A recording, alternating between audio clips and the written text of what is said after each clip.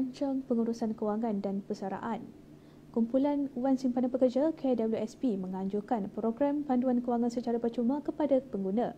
Jelas Ketua Pegawai Eksekutifnya Datuk Syahri Rizal Rizwan, perkhidmatan percuma tersebut boleh didapati di semua cawangan KWSP seluruh negara.